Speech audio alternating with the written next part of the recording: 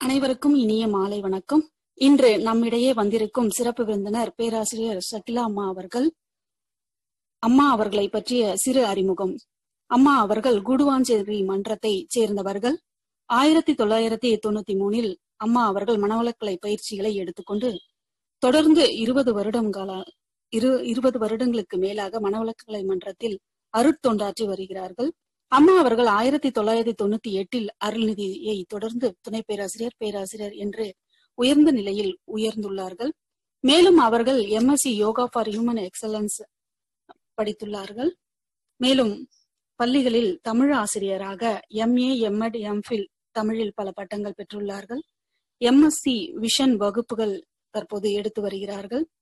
அம்மா அவர்கள் நிறைய சிந்தனைகளை மிக சிறப்பாக ஆற்றியுள்ளார்கள். அந்த வகையில் அம்மா அவர்கள் நம்மிடையே சிறப்பு சிந்தனை ஆற்ற உள்ளார்கள்.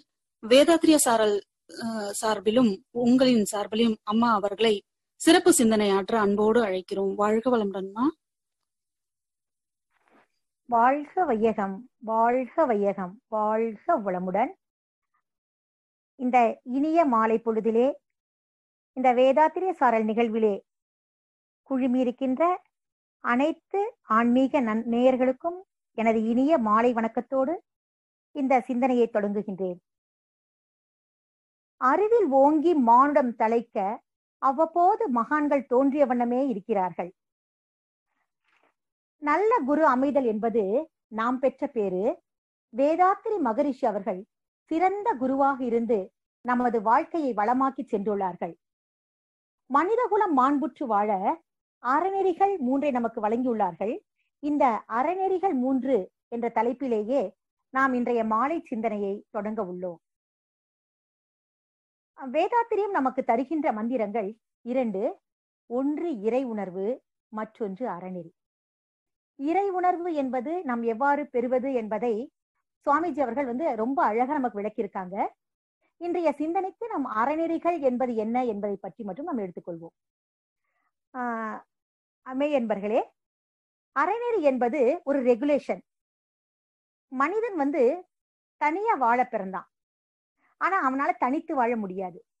ஏனென்றால் இப்ப விலங்கினங்கள்லாம் தனியா தான் பிறக்குது. அவை தனியாக வாழ அவனால முடியும். எப்படின்னா இயற்கையில வந்து என்ன வளங்கள் அவர்களுக்கு கிடைக்கின்றனவோ அவற்றை நேரடியாக அப்படியே அவை உண்டு வாழ்க்கை வளங்களாக தூக்கின்றன ஆனா மனிதன் அப்படி இல்லை. மனிதன் என்ன செய்யறனா ஒவ்வொன்றையும் தன்னுடைய கைத்திறத்தினால அழகுபடுத்தியும் தன்னுடைய அறிவின் திறத்தினால அதனுடைய உருவத்தை மாற்றியும் அவன் அனுபவிக்கிறான். இப்ப இந்த மாதிரி மாற்றி அனுபவிக்கும் போது சில குழப்பங்கள் அவனுக்கு நேர்ந்து விடக்கூடாது என்று சமுதாயம் சில கட்டுப்பாடுகளை அவன் மீது புகுத்துகிறது. இதுவே அறநெறிகளாக இருக்கின்றன. மனிதனுடைய வாழ்க்கைக்கு எண்ணிறந்த பொருள்கள் தேவைப்படுகிறது. அவன் அதுக்கு என்ன பண்ணணும் அப்படின்னு பாத்தீங்கன்னா தனக்கான பொருள்களை எல்லாம் தானே தயாரிக்க முடியுமா தயாரிக்க முடியாது. இப்போ அவன் எப்படி வாழ தொடங்குறான்னா ஒரு சமுதாயமாக ஒரு கூட்டமைப்பாக மனிதன் வாழ தொடங்குகின்றார் இப்படி தனி மனிதன் வந்து வாழ தொடங்கும் போது அவனுக்கு சில கட்டுப்பாடுகள் விதிச்சாதான் எல்லா உரிமைகளையும் எல்லோரும் பெற்று வாழ முடியும். தாம் வாழும் காலத்திலேயே தாம் என்ன பண்ணணும் அப்படின்னா அந்த பொருள்களை எல்லாம் தேவைப்படுற பொருளை எல்லாம் ஒரு மனிதனால தன்னால உருவாக்கி கொள்ள முடியுமா? அப்படின்னா நிச்சயமா முடியாது. தான் வாழ்வதற்கு தான் வாழ்வதற்கு ஒரு வீடு உண்பதற்கு ஒரு உணவு தான் வசிப்பதற்கு ஒரு வீடு இவ தனி மனிதனால் சாத்தியமா அப்படின்னா நிச்சயமா இல்லை. அப்ப அவனுக்கு என்ன பண்ணுதுன்னா அவனுக்கு வேண்டிய பொருளை எல்லாம் இந்த சமுதாயம் தான் கொடுத்து உதவுகிறது. இந்த சமுதாயம் கொடுக்கும் போது அந்த இடம் சில ஒழுங்குகளை கடைபிடிக்க வேண்டியிருக்கு. இந்த சமுதாய நெறிகளை தான் அறநெறிகள் அப்படின்னு மகரிஷி அவர்கள் சொல்றாங்க. ஒவ்வொரு மனிதனுக்கும் வாழ்க்கையில வந்து பிறப்புரிமையும் இருக்கு வாழுகின்ற உரிமையும் இருக்கு. இந்த பிறப்புரிமையில என்ன அப்படின்னு பார்த்தோம்னா ஒரு மனிதன் வந்து பிறக்கிறான். அவன் ஒரு தொழிலை கற்றுக்கொள்கிறான் ஒரு பொருளை ஈட்டுகின்றான் தானும் அனுபவிக்கின்றான் மற்றவருக்கும் கொடுக்கின்றான். இதுதான் ஒவ்வொரு மனிதனுக்குமான பிறப்புரிமை எனப்படுகிறது. இந்த பிறப்புரிமையில வந்து இந்த பிறப்புரிமை இந்த வாழுகின்ற உரிமையில தலையிடுறதுக்கு யாருக்குமே அதிகாரம் இல்லை. ஏன்னா இது வந்து ஒவ்வொரு மனிதனின் வாழ்க்கை சுதந்திரம் அப்படின்னு சொல்றது. இந்த வாழ்க்கை சுதந்திரத்தை வந்து அனைத்து மக்களும் கடைபிடிக்கணும் அப்படின்னு சொன்னா அதுக்கு மகரிஷி என்ன சொல்லிருக்காங்கன்னா மூன்று விதமான கொள்கைகளை மகரிஷி சொல்றாரு. ஒண்ணு இத வந்து அறநெறி என்ற தலைப்புல ஒழுக்கம் கடமை ஈகை என்று சொல்லி இந்த மூன்றையும் அமைத்து காட்டுகின்றார் மகரிஷி அவர்கள். இப்ப எப்படின்னு பாத்தீங்கன்னா நம்ம வந்து எல்லாரும் நம்ம வீட்டுல இருந்து கிளம்புறோம். ஒரு டூ வீலர்ல போயிட்டு இருக்கோம்னு வச்சுக்கோங்களேன். ஒரு சரியான பாதையும் சில கட்டுப்பாடுகளும் இல்லாட்டி நம்ம என்ன செய்வோம் அப்படின்னு பாத்தீங்கன்னா நம்ம அந்த நம்ம தன் போன போக்குல போயிட்டு இருப்போம் ஏன் வழி தனி வழின்னு போனோம்னா யாருமே திரும்ப வீடு வந்து சேர முடியாது. ஏன்னா ஒரு பாதையும் அதுல சில கட்டுப்பாடுகளும் அமைத்திருக்கும் போதே நிறைய விபத்துகள் ஏற்படுகின்றன. அப்போ தனியாக ஆளுக்கு ஒரு பாதைன்னு போடாம ஒரு பொதுவான பாதைகளை அமைத்து கொண்டு அங்கு சில விதிகள் முறைகளுக்கு நம்ம உட்பட்டு போகும் போதுதான் நம்மால சரியான இடத்திற்கு போய் சேர முடியும். இதுதான் நமக்கான அறநெறிகள் என்று சொல்லப்படுகிறது. இதுல முதலிடம் வகுப்பது ஒழுக்கம். வள்ளுவர் அழக சொல்வாரு ஒழுக்கம் விழுப்பம் தரலான் ஒழுக்கம் உயிரினும் ஓம்பப்படும் அப்படின்னு சொல்றாரு. சரி எல்லாமே ஒழுக்கமா வாழணும் அப்படின்னு தெரியுது. நம்ம எல்லாருமே இந்த இந்த குரலை எல்லாம் ரொம்ப அழகா படிச்சிருப்போம். திருக்குறள் எல்லாரும் வந்து தம்மெல்லாம் தமிழ்நாட்டை சார்ந்தவங்க. திருக்குறள் நம்ம எல்லாம் விரும்பி படிச்சவங்க தான் ஆனா இந்த ஒழுக்கத்திற்கு வந்து சாமிஜி வந்து ஒரு தனியான ஒரு ஒரு கொ- ஒரு வரையறையை கொடுக்கிறாரு. எப்படின்னு பாத்தீங்கன்னா எல்லா செயல்களுக்கும் விளை உண்டு நமக்கு தெரியும். அந்த விளைவு நமக்கு வரும்னு தெரிஞ்ச பிறகு நம்ம ஒரு செயலை செய்யறோம் அந்த விளைவு நமக்கு மட்டும் நன்மை தந்தால் போதாது பிறருக்கும் நன்மை தர வேண்டும்.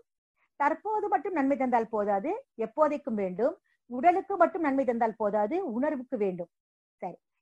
இப்போ அவர் என்னத்த ஒரு சொல்றாருன்னா எண்ணம் சொல் செயல் ஆகிய யாதொன்றாலும் தனக்கோ பிறருக்கோ தற்காலத்திற்கோ பிற்காலத்திற்கோ உடலுக்கோ உணர்விற்கோ அறிவுக்கோ துன்பம் தராத செயல்கள் எல்லாம் ஒழுக்கமான செயல்கள் என்று ஒழுக்கத்திற்கு வரையறை வகுக்கின்றார் மகரிஷி. இந்த ஒழுக்கம் எதுல எல்லாம் இருக்கணும் அப்படின்னு பார்த்தோம்னா எண்ணத்தில் ஒழுங்கு வேண்டும். ஏன் எண்ணத்துல ஒழுங்கு இருக்கணும் அப்படின்னா பணம் பாதாள மட்டும் பாயும் அப்படின்னா எண்ணம் வான்காந்த மட்டும் பாயும். இந்த எண்ணத்துல நம்ம எங்கேயுமே தவறு நேர்ந்து விடக்கூடாது. அதான் வள்ளுவம் சொல்லுது உள்ளத்தால் உள்ளலும் தீதே பிறன் பொருளை கள்ளத்தால் கல்வோமெனல் ஒரு சின்ன ஒரு எண்ணம்னா கூட சரி உள்ளத்தினாலேயும் ஒரு தீயதை வந்து வந்துடக்கூடாது. அடுத்து நாவால எப்படி வந்து ஒழுக்கத்தை கடைபிடிக்கலாம் அப்படின்னு சொன்னோம்னா ஆஹ் நம்ம பேசுகின்ற எந்த சொல்லுமே யாருடைய மனதையுமே புண்படுத்துகின்ற சொற்களாக இருந்து விடக்கூடாது. இனிமையான சொற்களாக இருக்க வேண்டும். நா ஒழுக்கம் என்பது மனம் எதை நினைக்கின்றதோ அதை பேசுவதே நா ஒழுக்கம். ஒரு எடுத்துக்காட்டுக்கு சொன்னோம்னா அஹ் சாக்ரட்டிஸ் அவர்கள் வந்து அஹ் இந்த நகரத்துல வாழ்ந்துட்டு இருக்கும் போது அவருக்கு வந்து என்னாச்சுன்னா அவருடைய கொள்கைகள் வந்து அந்த மன்னனுக்கு பிடிக்காத சில காரணங்கள்னால அவர் மீது வந்து அரசுக்கு எதிராக வா வாழ்ந்து கொண்டிருக்கிறார். அரசுக்கு எதிராக பேசுகிறார் என்று சொல்லி குற்றம் சுமத்தப்படுகிறது. அவருக்கு வந்து ஹெம்லாக் என்ற ஒரு நஞ்சானது கொடுக்கப்படுகிறது. அந்த நஞ்சை கொடுத்துட்டு சொல்றாங்க நீங்க வந்து நீங்க செய்தது தவறு நீங்க சொன்னதெல்லாம் தவறுன்னு சொல்லி நீங்க சொல்லிட்டீங்கன்னா உங்களுக்கு வந்து மாற்று மருந்தும் தயாராக இருக்கிறது. ஆகவே நீங்க இந்த மாற்று மருந்தை வந்து நான் கொடுத்துட்டோன்னு நீங்க பிழைச்சிருவீங்க. ஆனா நீங்க சொல்லுங்கன்னு சொல்றாங்க. தாம் இறக்கும் தருவாயில கூட சாக்ரட்டிஸ் அவர்கள் வந்து அந்த நஞ்சு அந்த தான் சொன்ன வார்த்தைகளை அவர் திரும்ப பெறவில்லை. என் உள்ளம் எதை சொல்லுகிறதோ அதுதான் நான் சொல்றேன் அப்படின்னாரு. இது வந்து நமக்கு நான் அவனுடைய ஒழுக்கத்திற்கு நம்ம ஒரு எடுத்துக்காட்டாக எடுத்துக்கலாம். ஏன்னா சுவாமிஜி கூட சொல்லியிருக்காரு உள்ளொன்று வைத்து புறமொன்று பேசினால் உள்ளொளி தீயாகி கருக்கிவிடும் சொல்லி. ஆகவே இது வந்து நாவிற்கான ஒழுக்கம். மனம் என்ன நினைக்குதோ அதை வந்து நான் பேசணும். ஆஹ் தேவையில்லாமல் வந்து அடுத்தவர்கள் மனதை வந்து புண்படுத்தக்கூடாது. நம்ம வந்து சமுதாயத்தோடு வாழ்ந்து கொண்டிருக்கிறோம். இன்னும் சொல்லப்போனா மனிதர்களை வந்து ஒரு சமுதாய விலங்குகள்னு சொல்லலாம். நம்மால வந்து தனித்து கட்டாயமா வாழ முடியாது. இந்த உலகத்துல எந்த ஒரு பொருளுமே இல்ல. எல்லா பொருளும் இருக்கு. ஆனா மனிதர்கள் இல்லைன்னா நம்மால ஒரு நிமிடம் கூட தனி மனிதனாக வாழ்ந்து விட முடியாது. நம்மால சேர்ந்துதான் வாழ்றோம். அப்போ இந்த சமுதாயத்துல சேர்ந்து வாழும்போது ஒரு நட்பு நடக்கலாமல் ஒரு உறவுகளுக்குள்ள ஒரு இணக்கமான உறவோடு நம்ம வாழ்வதற்கு நமக்கு நா ஒழுக்கம் என்பது மிக மிக அவசியம். அடுத்து பார்த்தோம்னா செயல் ஒழுங்கு. எண்ணத்தை காட்டிலும் சொல்லை காட்டிலும் ஆழமாக பதிவை ஏற்படுத்துவது செயல்கள் தான் இந்த செயல்கள்ல நம்ம வந்து எப்பவுமே நம்முடைய செயல்கள் வந்து நல்ல செயல்களாக இருக்க வேண்டும். நம்ம சுவாமிஜி நமக்கு வரையறுத்து கொடுத்த மாதிரி நமக்கும் பிறருக்கும் எப்பொழுதுமே தீமை தராத செயல்களாக நம்ம இப்படி இருக்கணும். இந்த மாதிரி செயல்கள் செய்யும் போது நமக்கு எப்படி இருக்கணும்? விழிப்பு நிலை நமக்கு என்னைக்குமே அவசியம். எந்த ஒரு செயலை செய்தாலும் நான் வந்து விழிப்பு நிலையோடு செய்வேன். அதுவும் சுவாமிஜி அவர்கள் அழகா கொட்டிட்டு காட்டியிருக்காரு அயரா விழிப்பு நிலை என்று. அயராதுன்னா எந்த நேரத்திலையும் தளர்ந்து விடக்கூடாது. அந்த விழிப்பு இருந்து கொஞ்சம் கூட பிசகி விடக்கூடாது. அப்படி ஒரு அயரா விழிப்பு நிலையோடு நம்முடைய செயல்களை நம்ம செய்தோம்னா இந்த மூன்று ஒழுக்கம் எண்ணம் சொல் செயல் இந்த மூன்று ஒழுக்கங்களை நம்ம வாழ்வுல வந்து எளிமையாக கடைபிடிக்கலாம். இதற்கு வந்து வேதாத்திரியம் அருமையாக நமக்கு வந்து வழிகாட்டி செல்கிறது. அடுத்து பார்த்தோம்னா கடமை. நம்ம ஆஹ் கடமை அப்படிங்கிறது நம்ம எல்லாத்துக்குமே கடமைனா என்ன? நம்ம எல்லாருமே வாழ்க்கையில இருக்கிறோம். நமக்கு எல்லாருமே கடமைனா என்னன்னு தெரியும். ஆனா சுவாமிஜி அவர்கள் வந்து இதுக்கு ஒரு ஒரு விளக்கத்தை தெரிகின்றார். கடமை என்பதை கடன் குட்டல்மை. அதாவது டியூ நான் பெற்ற கடனை வந்து டியூன்னு சொல்றாரு. திருப்பி தருவதை டியூட்டி அப்படின்னு சொல்றாரு. சரி. நம்ம யாருமே பிறக்கும் போது எதையுமே நம்ம கொண்டு வரல. ஒரு தந்தை தாய்க்கு வந்து நம்ம வந்து ஒரு மகனாகவோ மகளாகவோ பிறந்தனா கூட தந்தை தாய் கூட அந்த சமுதாயத்தினுடைய சொத்து தான் நம்ம பிறந்ததுல இருந்து ஒரு பதினைந்து வயது அதாவது நம்ம ஒரு உழைக்கின்ற ஒரு வயது வர்ற வரைக்கும் நமக்கு தேவையான எல்லா பொருளையும் நம்ம இந்த சமுதாயத்துல இருந்து தான் எடுத்துட்டு வரோம் இப்படி நம்ம சமுதாயத்துல நம்ம வாழ்கின்ற வாழ்க்கையில வந்து நம்ம என்ன பண்ணணும் அப்படின்னு பாத்தீங்கன்னா நம்ம பெற்ற கடனை நம்ம திருப்ப தரணும். ஆஹ் மகரிஷி அவர்கள் வந்து அழகா சொல்லியிருப்பாரு ஒரு பிடி உணவில் உலக ஒற்றுமை கண்டிடு உழைப்பால் பதில் உலகிற்கு தந்திடு. நாம இந்த உலக இந்த சமுதாயத்திலிருந்து நம்ம எவ்வளவு எடுத்துக்கிறோம் அப்படின்னு பாத்தீங்கன்னா ஒவ்வொரு நாளும் நம்ம நிறைய விஷயங்களை இந்த சமுதாயத்துல நம்ம பெற்றுட்டு இருக்கிறோம் இந்த சமுதாய கடனை நம்ம நினைச்சு பார்த்தோம்னா இது ஒரு பெரிய தீர்க்க முடியாத கடன். ஆனா நம்ம இந்த தீர்க்க முடியாத கடனை எவ்வளவு முடியுமோ அந்த அளவுக்கு நம்ம வாழ்ற காலத்திலேயே இங்க தீர்த்துட்டு போயிடணும்.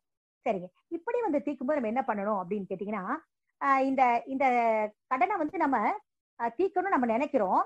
நம்மளால எவ்வளவு முடியுது? அப்படின்னு பார்த்தோம்னா எந்த அளவுக்கு முடியுதோ அந்த அளவுக்கு தீர்க்கலாம் சரி இந்த சமுதாய கடனை தீர்க்கும் போது நமக்கு வந்து வேற வேற பிரச்சனைகள். இப்போ நமக்குன்னு ஒரு இது ஐவக கடமையே சுவாமிஜி சொல்றாரு. உடல் குடும்பம் சுற்றம் ஊர் உலகோர். இதுக்கு ஆற்றும் கடமை முறையே முக்கியம். இதை வந்து கெடாமலும் ஒன்றினால் மற்றொன்று கெடாம பாத்துக்கணும் இந்த சமுதாய கடமை தன்னுடைய உடலுக்கோ குடும்பத்திற்கோ சுற்றத்திற்கோ ஊருக்கோ உலகுக்கோ நாம் செய்யக்கூடிய கடமைகள்ல எல்லாமே முக்கியம்தான். ஆகவே இந்த கடமைகளை ஒன்றிலிருந்து மற்றொன்று நம்ம கெடாம பாத்துக்கணும். கடமையை உணர்ந்திடு காலத்தால் செய்திடு. உடம்புக்கும் நல்லது உள்ளமும் அமைதியாகும் அப்படின்னு சுவாமி சொல்லியிருக்காரு. கடமையை செய்தா மட்டும்தான் நம்ம உள்ளம் வந்து அமைதி பெறும். கடனை வந்து திருப்ப செலுத்துவது அப்படி நம்ம எப்படி செலுத்துவதுன்னு பார்த்தோம்னா ஒண்ணு உடல் நம்ம கிட்ட உடல் வளம் இருக்கு கல்வி இருக்கு தொழில் திறம் இருக்கு செல்வாக்கு இருக்கு. இந்த கடனை வந்து நம்ம செலுத்தும் போது நம்மால உடல் வளத்தினால செலுத்தலாம் நம்ம கிட்ட இருக்க கல்வினால செலுத்தலாம் தொழில் திறமையினால செலுத்தலாம் செல்வாக்குனால செலுத்தலாம். எப்படியோ ஒரு விதத்துல நம்ம இந்த சமுதாயத்திற்கு தொண்டாடி நம்முடைய கடனை நம்ம திருப்பி கொடுத்தேதான் ஆகணும். இப்போ நம்ம சமுதாயத்துல வாழ்ற மக்கள் எப்படி இருக்காங்கன்னு பாத்தீங்கன்னா ஒண்ணு பதினைந்து வயதிற்கு கீழ் உள்ளவர்கள். மற்றொரு சாரார் அறுபது வயதிற்கு மேல் உள்ளவர்கள். இந்த பதினோரு வயது பதினைந்து வயதிற்கு கீழ் உள்ளவர்களாலையும் வேலைக்கு போக முடியாது. அறுபது வயதிற்கு மேல் உள்ளவர்களாலையும் தொழில் செய்ய முடியாது. அப்ப இந்த மாதிரி ஒரு சூழ்நிலையில அதாவது சமுதாயத்துல மூன்றில இரண்டு பங்கு வருமானம் ஈட்ட முடியாத நிலையில தான் இருக்காங்க. அப்போ இந்த குழந்தைகளுக்கும் இந்த முதியவர்களையும் காக்கும் பொறுப்பு யாருக்கு கடமை யாருக்கு இருக்குன்னா நான் இதுல வந்து இந்த இடைப்பட்ட வயதினருக்கு தான் இந்த கடமையானது இருக்கு. இந்த முதியவர்களை காப்பது என்பது தன் கடனை தீர்ப்பது முதியவர்களை நம் வீட்டில் இருந்து பாதுகாப்பது அல்லது முதியவர்களுக்கு காப்பது என்பது நம் கடமையை தீர்ப்பது குழந்தைகளை காப்பது என்பது நம்முடைய எதிர்கால சேமிப்பு அப்படின்னு சொல்லி சுவாமிஜி அவர்கள் சொல்லியிருக்காங்க. ஆகவே கடமையை வந்து நம்ம சரியான முறையில செய்யணும். ஏன்னா கடனாளியா ஒரு மனிதர் வாழ்ந்து ஆஹ் கடனாளினா வந்து பணம் பெறுவதுதான் கடனாளி. இப்ப வங்கிகள்ல பார்த்தோம்னா பணம் வாங்குறோம். ஆஹ் கடன் செலுத்தாதவர்கள் கடனாளின்னு சொல்றோம். ஆனா உண்மையான நம்ம மகரிஷி கருத்துப்படி பார்த்தோம்னா நம்ம எல்லாமே கடனாளிகள் தான் ஏன்னா நம்ம எல்லாமே சமுதாயத்திலிருந்து தான் நம்ம அத்தனை வளங்களையும் நம்ம எடுத்துட்டு இருக்கோம் ஆகவே நம்ம அனைவருமே கடனாளிகள் தான் இந்த பெற்ற கடனை நம்ம ஒவ்வொருவரும் தீர்ப்பதுதான் நமக்கு நல்லது நம்முடைய தருமையத்திற்கு நல்லது. அடுத்து ஈகைன்னு சொல்லியிருக்காரு. ஈகை இப்போ மனித குலத்தின் செயல்கள்ல வந்து ரொம்ப மணிமகுடமாக திகழக்கூடிய செயல் என்னன்னு பாத்தீங்கன்னா ஈகை தான் பிறர் துன்பத்தை கண்டு இறங்குதல் அத்துன்பத்தை போக்க முயலுதல். இதுதான் ஈகையா மலர்ந்திருக்கு. ஒரு உயிர் படுகின்ற துன்பத்தை நம்ம பாக்குறோம் அந்த துன்பத்தை வந்து கண்டு இறங்கி அந்த துன்பத்தை துடைப்பதற்கான ஒரு முயற்சி நம்ம எடுத்துக்கிறோம் பாத்தீங்களா இதுதான் வந்து ஈகையா முடியுது. இது தங்களால முடிந்த வரை நாம பண்ணலாம். இப்போ இந்த ஈகை யாருக்கு பண்றோம் அப்படின்னு பாத்தீங்கன்னா சுவாமிஜர்கள் வரையது சொல்லியிருக்காரு வாழ்க்கை இழந்தவர்களுக்கு வாழ தெரியாதவர்களுக்கு வாழ முடியாதவர்களுக்கு நம்ம வந்து ஈகை கொடுக்கணும். இந்த ஈகையை பத்தி தமிழ் இலக்கியங்கள் நிறைய சொல்லுது. ஆரம்ப காலகட்டங்கள்ல நம்ம தமிழகத்துல வந்து ஈகை எப்படி இருந்துச்சு அப்படின்னு பாத்தீங்கன்னா செல்வர்க்கு அழகு செழுங்கிளை தாங்குதல் உண்டிக்கு அழகு விருந்தோடு உண்டல் அப்படின்னு சொல்லியிருக்காங்க. ஆஹ் நம்ம வாழ்ந்தா மட்டும் பத்தாது நம்முடைய கிளைகளாகிய உறவினர்களையும் நம்ம வாழ வைக்கணும். அந்த அளவிற்கு நம்முடைய ஆஹ் மனமானது அந்த அளவுக்கு வந்து பண்பட்ட மனமாக இருக்கணும். சரி அந்த காலத்துல என்ன பண்ணுவாங்கன்னா எல்லா வீடுகள்லயுமே ஆஹ் வச்சு திண்ணைகள் வச்சுதான் வீடுகளை கட்டுவாங்க. திண்ணைகளை வந்து ஏன் வச்சிருக்காங்க அப்படின்னு பார்த்தோம்னா சாப்பிடறதுக்கு போறதுக்கு முன்னாடி வீட்டு வாசல்ல வந்து இரவலர்கள் யாராவது இருக்காங்கன்னு வந்து பார்ப்பாங்க. அப்படி பார்க்கும்போது அங்க யாராவது இருந்தாங்கன்னா தனக்கு வைத்திருக்கின்ற உணவை கூட அந்த இரவலர்களுக்கு போட்டுட்டு வாழ்ந்த மக்கள்லாம் இருந்திருக்காங்க. சரி அந்த மாதிரி வந்து ஒரு பெரிய ஒரு புண்ணிய பூமியில தான் நம்ம எல்லாம் வாழ்ந்துட்டு இருக்கோம். ஆனா இப்ப காலங்கள் மாற மாற என்ன ஆயிடுச்சுன்னு பாத்தீங்கன்னா அறிவு வந்து மக்களுக்கு பெருத்துருச்சு. நிறைய நிறைய வாழ்க்கை சூழ்நிலைகள் நம்ம நம்ம வாழுகின்ற நமக்குள்ள இருக்க இந்த பழக்க வழக்கங்கள் இதெல்லாம் முழுக்க முழுக்க மாறி போனதன் காரணமாக இப்ப வந்து மனிதனுக்கு வந்து அறிவு பெருத்து விட்டது ஆனா மனமோ சிரித்து விட்டது. இப்ப வந்து என்ன பண்றாங்க அப்படின்னு கேட்டீங்கன்னா செல்வர்க்கு அழகு செழுங்கிலை தாங்குதல் அப்படிங்கிற அந்த அந்த கருத்து போய் செல்வர்க்கு அழகு அஹ் நிறைய வங்கிகள்ல வந்து பணம் சேர்த்தல் என்ற நிலைக்கு வந்து நம்ம எல்லாம் இன்னைக்கு மாறிட்டு இருக்கிறதுனாலதான் அந்த இப்போ இந்த ஒரு ஒரு வாழ்க்கை சூழ்நிலை ஆயிடுச்சு. ஆனா இயற்கை நம்மளை எப்படி படைச்சிச்சுன்னு கேட்டீங்கன்னா இங்க வறுமை என்பதே கிடையாது. ஒரு மனிதனுக்கு தேவையான அத்தனை பொருள்களையும் இயற்கை மனிதனை படைப்பதற்கு முன்பேயே படைத்திருந்தது. அப்போ இப்ப திடீர்னு எங்க வந்து இந்த வறுமை வந்துச்சு எங்க வந்து இல்லாமை வந்துச்சு அப்படின்னு பார்க்கும்போது நமக்கு ஒரு ஒண்ணு தோணுது. என்னன்னா இப்போ ஒரு பக்கம் எங்கேயோ போய் குவியுது ஒரு பக்கம் இல்லாமை ஆயிடுது. அப்ப என்ன பண்ணணும் அப்படின்னா இந்த நிறவும் பணியை தான் ஈகை என்ற செயல் செய்யும். மக்கள் வந்து இல்லாமை என்ற நிலை வந்து வராம இருக்கணும் அப்படின்னா அதுக்கு ஒரே மாற்று வழி ஈகை தான். இந்த ஈகை வந்து நம்ம கொடுப்பது இதையும் எப்படி கொடுக்கணும் அப்படின்னு கேட்டா பணமாக கொடுப்பது மட்டும்தான் ஈகைன்னு இல்லை. யாருக்கு தேவை ஏற்படுகிறதோ யார் துன்பத்துல இருக்காங்களோ அவங்களுக்கு நம்ம அறிவால ஆன உதவியை செய்யலாம். பணத்தால் ஆன உதவியை செய்யலாம். பொருளால ஆன உதவியை செய்யலாம். எல்லாம் இல்லையோ நம்ம கிட்ட மனசு மட்டும்தான் இருக்குன்னா அந்த துன்பத்திலிருந்து அவர்கள் விடுபட வேண்டும் என்று வாழ்க வளமுடன் ஒரு வாழ்க்கை சொல்லலாம். இதுவும் ஈகை சார்ந்தப்பட்டதுதான். சரி. இப்ப மனிதன் வந்து இப்படி தன்னுடைய வாழும் காலத்துல நல்ல செயல்களை செய்து அவன் வந்து எல்லாத்திலையும் இப்போ நல்ல செயல்களை செய்வது மூலமாக அவன் நிறைய புண்ணியங்கள்லாம் சேர்த்துட்டான்னு வச்சுக்கோங்களேன். இதுதான் வந்து நமக்கு கடைசி காலத்துக்கு வந்து நமக்கு உதவுன்னு சொல்லுவாங்க பெரியவங்க. என்னன்னா ஒரு மனிதன் தான் வாழும் காலத்துல எவ்வளவு சேர்த்து வைத்தான் பணம் அப்படிங்கிறதே பெருசு இல்லை. ஏன்னா அவன் எதுவுமே கொண்டு போக போறதில்ல. அவன் சேர்த்து வைத்த புண்ணியங்கள் தான் அவன் கூட வரும்.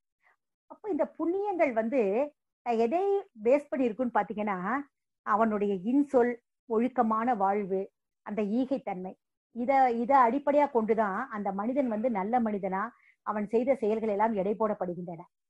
இந்த பல நம்முடைய மக்கள் வந்து இந்த மாதிரி நல்ல ஈகை குணம் உள்ளவர்கள் வாழ்ந்த காலத்துல நம்ம நாட்டுல வந்து இவ்வளவு வறுமை எல்லாம் இருக்கல. ஒரு பெரிய புலவர் ஒருத்தர் இருந்தாரு. அவர் வீட்டுல வந்து கொடுமையான வறுமை. அடுப்புல கூட பூனைக்குட்டி படுத்து இருந்துச்சு. அப்படிப்பட்ட ஒரு வறுமையான நிலை. அவர் வந்து ஒரு மன்னனை நாடி செல்கின்றார். அப்படி மன்னனை நாடி போகும்போது அங்க என்ன ஆச்சுன்னு பாத்தீங்கன்னா அந்த மன்னன் நிறைய பொருள்களை கொடுக்கிறார். அவர் இதை பார்த்தோன்னே புலவருக்கு மிக்க மகிழ்ச்சி. அவர் திரும்ப தன் மனைவிட வராரு. வந்து தன் மனைவியை அழைக்கின்றார். அவர் என்ன சொல்றாருன்னு பாத்தீங்கன்னா இந்த பொருளை எல்லாம் நீ கொடு வச்சுக்கோ. இத வந்து நீ பயன்படுத்து. நம்ம இல்லைங்கும் போது யாரெல்லாம் கொடுத்தாங்க இல்லையா? அவங்களுக்கு எல்லாம் கொடு. அக்கம் இருக்கவங்களுக்கு எல்லாம் கொடு. இந்த ஊருக்கு உலகோருக்கெல்லாம் இந்த பொருளை கொடு அப்படிங்கிறாரு. எதையுமே மிச்சவைன்னு சொல்லல. இது நம்முடைய தமிழ்ல இருக்கிற ஒரு சங்க இலக்கிய பாடல். இவ்வாறு நம்முடைய மனிதர்கள் வந்து தான் பெற்ற செல்வத்தை எல்லாம் அடுத்தவங்க கொடுத்து கொடுத்து வாழ்ந்ததுனாலதான் இது நாள் வரைக்கும் நம்ம வந்து கடையெழு வள்ளல்களை பத்தி நம்ம பேசிட்டு இருக்கிறோம். ஆஹ் எவ்வளவு பெரிய கோவில் எவ்வளவு பெரிய மன்னர்கள் பெரிய பெரிய மாட மாளிகையில் வாழ்ந்த மன்னர்களை பத்தி எல்லாம் கூட இந்த வரலாறு வந்து மறந்து விடுகிறது. ஆனா யார் வந்து ஏழையின் தண்ணீரை துடைப்பதற்காக எந்த யார் பாடுபட்டாங்களோ யார் வாழ்ந்தாங்களோ அவங்க வந்து இறந்த பிறகு கூட இந்த புகழ் இந்த புகழானது இந்த பூமியில வந்து வாழ்ந்துட்டு தான் இருக்கு. நம்ம யாருமே மனித சமுதாயம் வந்து அவங்களை எல்லாம் மறந்துடல. அப்போ மனித வாழ்க்கையில் ஒரு பெரிய பங்கை வகிப்பது என்னன்னு பாத்தீங்கன்னா ஈகை தான் இந்த ஈகையினால நமக்கு என்ன ஆகும்னு பாத்தீங்கன்னா ஆஹ் நமக்கு நம்முடைய வேதாத்திரிய கருத்துப்படி பார்த்தோம்னா இறைநிலையும் நாமும் ஒன்றுதான். இறைநிலிருந்து தன்மாற்றத்தினால் தோன்றியவர்கள் தான் மனிதர்கள். அப்போ இந்த மனிதனுக்கு வருகின்ற துன்பமும் எதுக்கு சமன் பாத்தீங்கன்னா இறைவனுக்கு வருகின்ற துன்பம் தான் ஏன்னா இறைவன் தான் மனிதனாக வந்திருக்கான். சரி. அதான் தமிழ் க நம்முடைய பக்தி இலக்கியங்கள் சொல்லுகிறது படமாட கோவில் பகவார்க்கு ஒன்றியில் நடமாடும் கோவில் நம்பர்க்கதாக. நடமாடும் கோவில் அஹ், நடமாடும் கோவில் நமக்கு ஒன்று கொடுத்தால் அது வந்து படமாடும் கோவில் பக்தர்க்கு தாமே பகவார்க்கு தாமே அப்படின்னு சொல்றாங்க. நடமாடும் கோவிலாக இருக்கின்ற இந்த மனிதர்களுக்கு நாம் ஒரு பொருள் கொடுக்கும் போது அது அந்த தேவனுக்கு கொடுத்ததாக ஆகி விடுகிறது நாம வந்து மகரிஷி அவர்கள் சொல்லியிருக்காங்க நாம வந்து பணத்தை சேர்த்து வைக்கிற இடம் வந்து வங்கிகளாக இருப்பதை காட்டிலும் ஏழையின் வயிறுகளாக இருக்க வேண்டும் அப்படின்னு சொல்லியிருக்காங்க எந்த ஒரு நிலையிலையுமே நாம வந்து ஆஹ் அடுத்த உயிர் வந்து துன்பப்படும் போது அதை பார்த்துக்கிட்டு இருக்கிறதோ அந்த துன்பத்தை துடைக்கிறதுக்கு முடியாம நம்ம இருக்கிறதுன்னு பாத்தீங்கன்னா அதுவுமே வந்து நமக்கு ஒரு ஒரு பதிவு தான் ஏற்படுத்தும். ஆகவே நம்ம வந்து நம்முடைய வாழும் காலத்துல இது போல செயல்களை நல்ல செயல்களை நம்ம செய்யும் போது நமக்கு வந்து சிறந்த புண்ணியமானது கிட்டும். நம்ம எல்லா செயல்களுக்கும் விளை உண்டு. ஆகவே இந்த விளைவை நோக்கிய வாழ்க்கை பயணம் தான் நம்முடைய பயணம். இந்த வாழ்க்கை பயணத்துல நம்மளால எந்த அளவுக்கு நல்லது செய்ய முடியுமோ நாம அந்த அளவுக்கு நம்ம நல்ல செயல்களை நம்ம செய்ய வேண்டும். அரசியல்களை நாம் செய்து கொண்டு நாள்தோறும் நம்ம வந்து அரசியல்களை நம்ம செய்துகிட்டு இருக்கணும் ஆஹ் இன்னொன்னு பாத்தீங்கன்னா ஆஹ் இந்த ஈகையை பத்தி சொல்லாத மார்க்கமே இல்லை அப்படின்னு சொல்லலாம். எல்லா மதங்களும் ஈகையை பற்றி சிறப்பாக எடுத்துரைக்கின்றன. ஆஹ் நம்முடைய மகரிஷி அவர்கள் வந்து என்ன சொல்றாருன்னு கேட்டீங்கன்னா உன்னுடைய நம்முடைய வருமானத்துல ஒரு சதவிகிதத்தை வந்து ஈகைக்காக கொடுக்க சொல்றாரு குறைந்தபட்சம் அந்த ஒரு சதவீதம். இப்போ நாளைக்கு நமக்கு தேவை அப்படின்னு சொல்லி நம்ம அந்த பொருளை வச்சிருக்கோம்னு வச்சுக்கோங்களேன். அந்த பொருள் நமக்கு நாளைக்கு தேவை நம்ம வச்சுக்க சரிதான். ஆனா நாளைக்கு நமக்கு தேவை ஏற்படுங்கிறதையும் யார் தீர்மானிக்கிறாங்க? அப்படின்னு கேட்டா இறைநிலை தான் தேவை தீர்மானிக்குது. அப்போ அந்த தேவை ஏற்படும் போது நம்ம இன்னைக்கு கொடுத்துட்டோம்னு வச்சுக்கோங்களேன் இதனுடைய விளைவாக நாளைக்கு நமக்கு தேர்வை ஏற்படும் போது அப்ப யார் மூலமாவது கொடுப்பதும் அந்த இறைநிலை தான்.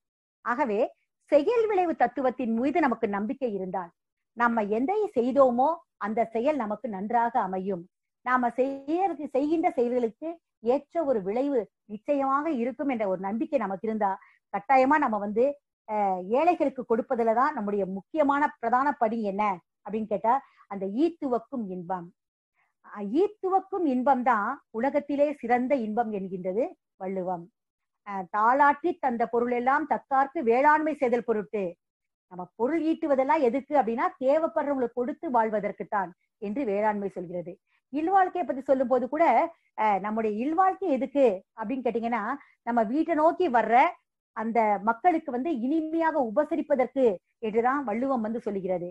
இது போல வள்ளுவம் போன்ற பல மதங்களை சார்ந்த நூல்கள் எல்லாமே இந்த அறநெறிகளை பற்றி சிறப்பாக பேசுகின்றன. ஆனா எல்லாத்த விட விளக்கம் நமக்கு எங்க கிடைச்சிருக்குன்னு பாத்தீங்கன்னா நம்முடைய வேதாத்திரத்திலே மிகவும் அழகான விளக்கம். ஏன்னா நம்ம மனிதர்கள் எல்லாமே சேர்ந்துதான் வாழ முடியும். சேர்ந்து வாழதான் மனிதர்கள் பிறந்திருக்கோம். நம்ம வாழுகின்ற வாழ்க்கையில சிக்கல்கள் இல்லாமல் தடங்கல்கள் இல்லாமல் நம்முடைய வாழ்க்கை பாதை வந்து சரியான முறையில போயிருக்கணும். நம்முடைய எண்ணம் வந்து முழுமை பேர் அடைதல். நம்ம மனித வாழ்க்கையினுடைய நோக்கமே என்னன்னா முழுமை பேர் அடைதல். அந்த முழுமை பேர் அடைவதற்கு நமக்கு என்ன தேவைப்படும் அப்படின்னு கேட்டீங்கன்னா நம்முடைய வாழ்க்கை வந்து நிறைய சிக்கல் இல்லாத வாழ்க்கையாக இருக்கணும். வாழ்க்கையில சிக்கல்கள் இருந்தால் நம்மால வந்து இந்த சிக்கல்களை தீர்க்கவே நமக்கு நேரம் பத்தாது. அப்புறம் இறை உணர்வும் நமக்கு கிட்டாது. ஆகவே இறை உணர்வு பெறுவதற்கு நமக்கு வாழ்க்கையில என்ன ரொம்ப அடிப்படையான தேவைகள்னு பாத்தீங்கன்னா அறநெறிகள் நமக்கு ரொம்ப அடிப்படை. ஒழுக்கம் சரியா இருக்கணும். நம்ம கடமையை சரியான விதத்துல பண்ணணும். ஓரளவுக்கு நமக்கு ஈகை குணமும் இருந்துச்சுன்னு வச்சுக்கோங்களேன். அப்போ நம்முடைய கவனம் முழுவதும் எங்க இருக்குன்னு பாத்தீங்கன்னா இறை உணர்வு மேல நமக்கு போயிடும். அப்போ வாழ்க்கையில வந்து எல்லா மனிதர்களும் அறநெறி உள்ளவர்களாக மாறிட்டாங்க அப்படின்னா வாழ்க்கை சிக்கல் பெரிதளவு இங்க குறைந்துடும் வாழ்க்கை சிக்கல் குறைந்தாலே நமக்கு இறை உணர்வு நமக்கு மேலோங்கும். சிக்கல் இல்லாதப்போ நம்ம என்ன பண்ணலாம்? சீக்கிரமா வீடு போய் சேர்ந்துடலாம் அப்போ அந்த மாதிரி நமக்கு இறை உணர்வை கொடுத்துட்டு மகரிஷிகள் வந்து அறநெறியையும் ஏன் இவ்வளவு வலியுறுத்தி சொல்லியிருக்காருன்னா சிக்கல் இல்லாத வாழ்க்கை இருக்கும் போது நமது முழுமை பேருக்கான பயணம் வந்து சீராக இருக்கும். அப்ப நம்ம நினைச்ச இடத்துல நம்ம சடனா போய் நம்ம சேர முடியும். எப்படி அப்படின்னு பாத்தீங்கன்னா வழியிலே சிக்கல்கள் இருக்கக்கூடாது. இந்த வழியில எல்லா மக்களும் சிக்கல் இல்லாம வாழணும்னா எல்லாத்துக்கும் அறநெறி தெரியணும். எல்லா மக்களுக்கும் வந்து ஒழுக்கத்தோட ஒரு வாழ்க்கை வந்து வாழணும். இப்போ இந்த ஒழுக்கமான வாழ்க்கை அப்படின்னா எது எதை செய்கின்றோமோ அது நமக்கு விளைவாக வரும் அப்படின்னு தெரிஞ்ச பிறகு நம்ம என்ன பண்ணுவோம்? எவ்வளவு நாகரிகம் அணிந்த இந்த காலத்துல கூட மக்கள் என்ன நினைக்கிறாங்க அப்படின்னா தான் தனது அப்படிங்கிற அந்த சுயநலத்தினாலையும் பொருள் பற்றினாலையும் பல்வேறு தவறுகளை மேலும் மேலும் செஞ்சுட்டு அவங்க நிறைய பாவங்களை எல்லாம் அவங்க செஞ்சுட்டு இருக்காங்க இப்ப இந்த பாவ பதிலிருந்து நமக்கு எப்படி நீக்கணும்? எப்படி நம்மளால நீங்க முடியும்? அப்படின்னு பாத்தீங்கன்னா நம்முடைய மகர்ஷியுடைய இந்த ஒழுக்கம் கடமை ஈக இதையெல்லாம் நம்ம மக்கள் வந்து கடைபிடிச்சா மட்டுமே அந்த இறைநிலை மேல நமக்கு வந்து கவனமானது திரும்பும். நமக்கு இறை உணர்வு கிட்டும். நம்முடைய வாழ்க்கையானது சரியான பாதையில போகும். அப்ப நமக்கு வந்து இந்த முழுமையை நோக்கிய இந்த மனிதனுடைய வாழ்க்கை பயணத்துல நம்ம ஒரு முழுமையான நிலையை போய் நம்ம அடைய முடியும். இறைநிலையோடு நம்ம ஒன்றி போக முடியும். யா எல்லாரும் வந்து விரும்பி யாருமே பிறக்கல. அஹ் ஆனா பிறந்துட்டோம். பிறந்த பிறகு நம்ம வாழ்றோம். இந்த வாழ்கின்ற வாழ்க்கையில வந்து அஹ் நம் முடிந்த வரைக்கும் நாமும் துன்பப்படக்கூடாது. அடுத்தவங்களுக்கும் துன்பத்தை கொடுத்து விடக்கூடாது.